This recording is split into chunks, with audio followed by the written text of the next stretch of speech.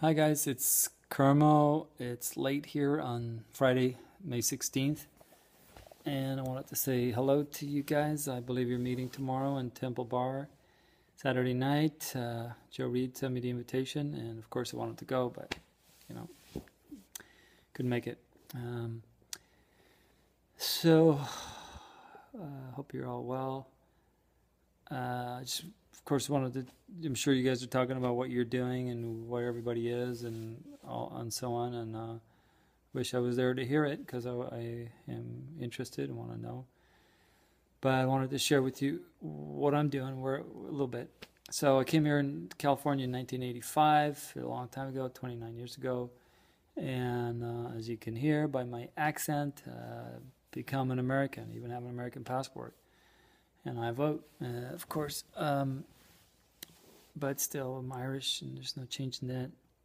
Uh, so I came here in '85, traveled a lot around states. Uh, got married in 1989. My wife is from Peru. We have four kids, so we live now in Northern California, near San Francisco, and um, all settled here and so on. Three boys and a girl, and uh, I work I went I went to university at San Francisco State University. Graduated in 1995 with a degree in accounting, and worked for five or six years in the accounting business uh, as a CPA, and then went out on my own and did other businesses, retail, and uh, was in the medical business.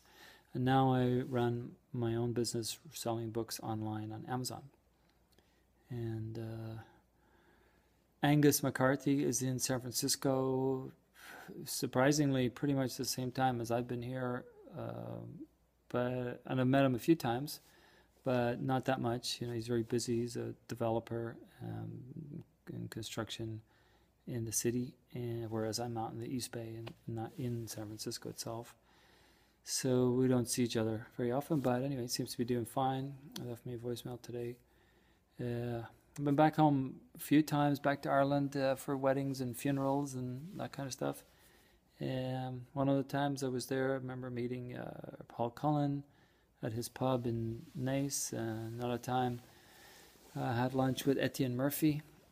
Um, other than that, I really don't know much about anybody, what anything's doing. I know a little bit about what Joe's doing and what uh, Jack McGowan.